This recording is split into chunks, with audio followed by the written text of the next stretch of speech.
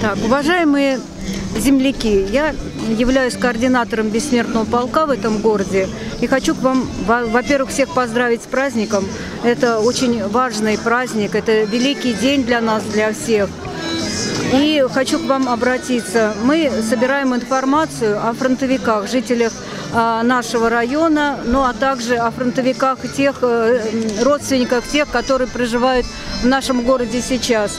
Мы хотим сделать обновление книги памяти, хотим собрать максимальную историю нашего бессмертного полка и историю э, о тех, э, кто воевал.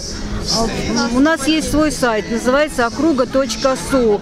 Там есть все координаты. Ну и также, конечно, бессмертном полку э, можно зайти и взять э, там координаты наши и прислать э, имеющуюся у вас информацию. Спасибо.